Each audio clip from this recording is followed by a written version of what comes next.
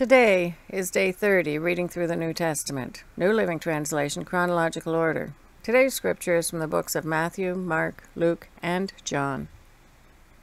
Mark chapter 14, verses 3 to 9. Meanwhile, Jesus was in Bethany at the home of Simon, a man who had previously had leprosy. While he was eating, a woman came in with a beautiful alabaster jar of expensive perfume made from essence of nard. She broke open the jar and poured the perfume over his head. Some of those at the table were indignant.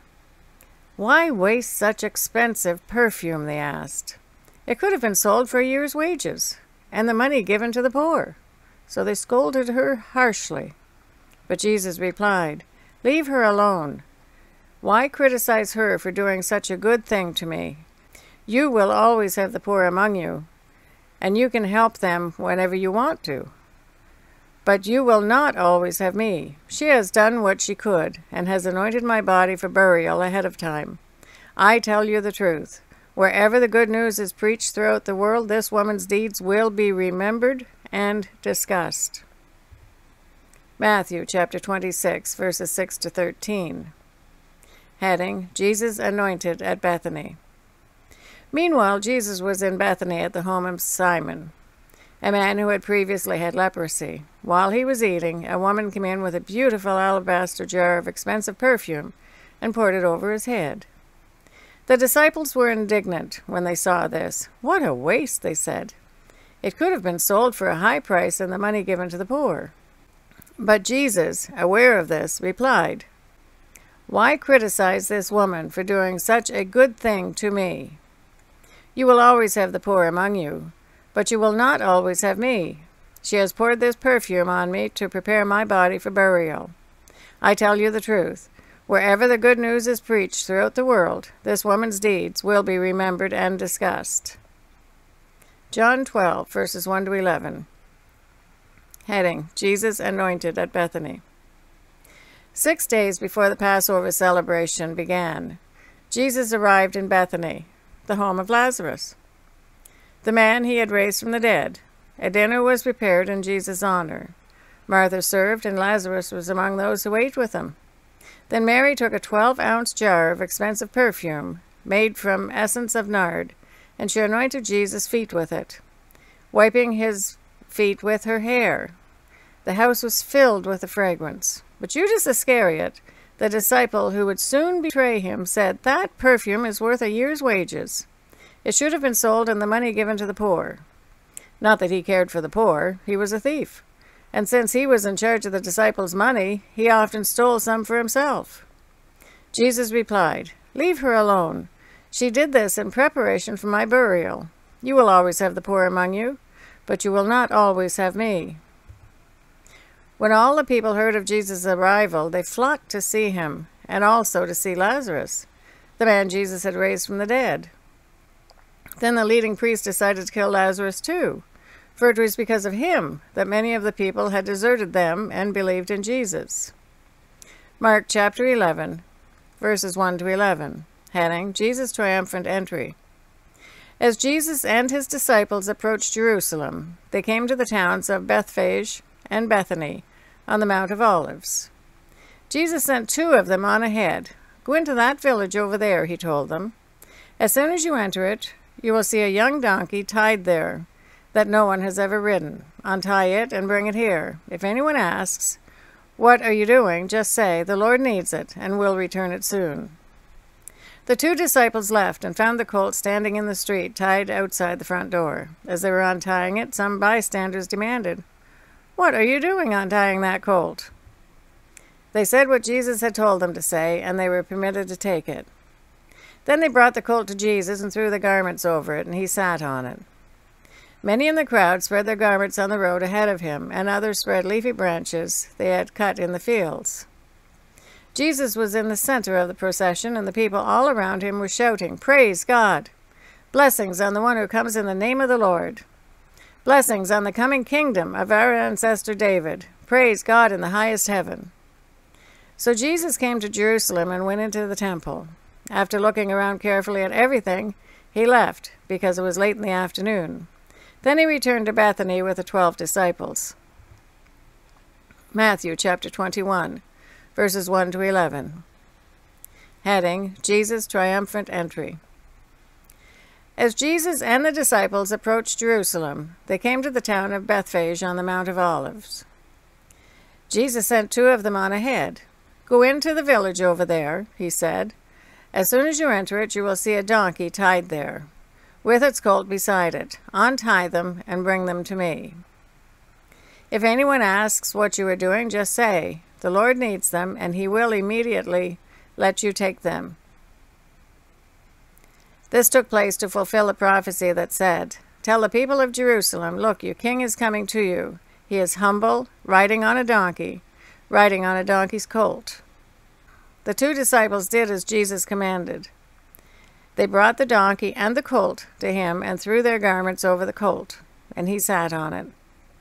Most of the crowd spread their garments on the road ahead of him, and others cut branches from the trees and spread them on the road. Jesus was in the center of the procession, and the people all around him were shouting, Praise God for the Son of David. Blessings on the one who comes in the name of the Lord. Praise God in the highest heaven. The entire city of Jerusalem was in an uproar as he entered. Who is this? They asked. And the crowds replied, It's Jesus, the prophet from Nazareth in Galilee. Luke chapter 19, verses 29 to 40. Heading Jesus' triumphant entry. After telling this story, Jesus went on toward Jerusalem, walking ahead of his disciples. As he came to the towns of Bethphage and Bethany on the Mount of Olives, he sent two disciples ahead. Go into that village over there, he told them. As you enter it, you will see a young donkey tied there that no one has ever ridden. Untie it and bring it here. If anyone asks, Why are you untying that colt? just say, The Lord needs it. So they went and found the colt, just as Jesus had said, and sure enough, as they were untying it, the owners asked them, Why are you untying that colt? And the disciples simply replied, The Lord needs it. So they brought the colt to Jesus and threw their garments over it for him to ride on. As he rode along, the crowd spread out their garments on the road ahead of him. When he reached the place where the road started down the Mount of Olives, all of his followers began to shout and sing as they walked along, praising God for all the wonderful miracles they had seen. Blessings on the King who comes in the name of the Lord. Peace on earth and glory in the highest heaven. But some of the Pharisees among the crowd said, Teacher, rebuke your followers for saying things like that. He replied, If they kept quiet, the stones along the road would burst into cheers. John chapter 12, verses 12 to 19. Heading Jesus' Triumphant Entry. The next day, the news that Jesus was on the way to Jerusalem swept through the city. A large crowd of Passover visitors took palm branches and went down the road to meet him. They shouted, Praise God! Blessings on the one who comes in the name of the Lord! Hail to the King of Israel! Jesus found a young donkey and rode on it, fulfilling the prophecy that said, Don't be afraid, people of Jerusalem. Look, your king is coming, riding on a donkey's colt. His disciples didn't understand at the time that this was a fulfillment of prophecy. But after Jesus entered into his glory, they remembered what had happened and realized that these things had been written about him. Many in the crowd had seen Jesus call Lazarus from the tomb, raising him from the dead, and they were telling others about it. That was the reason so many went out to meet him, because they had heard about this miraculous sign. Then the Pharisees said to each other, There's nothing we can do. Look, everyone has gone after him. Luke chapter 19, verses 41 to 44. Heading Jesus weeps over Jerusalem. But as he came closer to Jerusalem, he saw the city ahead, and he began to weep. How I wish today that you of all people would understand the way to peace. But now it is too late. The peace is hidden from your eyes. Before long, your enemies will build ramparts against your walls and encircle you and close in on you from every side. They will crush you into the ground and your children with you. Your enemies will not leave a single stone in place because you did not recognize it when God visited you. John chapter 12, verses 20 to 36. Jesus predicts his death. Some Greeks who had come to Jerusalem for the Passover celebration paid a visit to Philip, who was from Bethsaida in Galilee. They said, Sir, we want to meet Jesus. Philip told Andrew about it, and they went together to ask Jesus. Jesus replied, Now the time has come for the Son of Man to enter into his glory. I tell you the truth, unless a kernel of wheat is planted in the soil and dies, it remains alone but its death will produce many new kernels, a plentiful harvest of new lives. Those who love their life in this world will lose it. Those who care nothing for their life in this world will keep it for eternity. Anyone who wants to serve me must follow me, because my servants must be where I am, and the Father will honor anyone who serves me. Now my soul is deeply troubled. Should I pray? Father, save me from this hour. But this is the very reason I came. Father, bring glory to your name. Then a voice spoke from heaven, saying, I have already brought glory to my name, and I will do so again. When the crowd heard the voice, some thought it was thunder, while others declared an angel had spoken to him.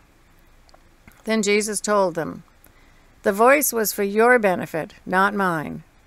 The time for judging this world has come, when Satan, the ruler of this world, will be cast out.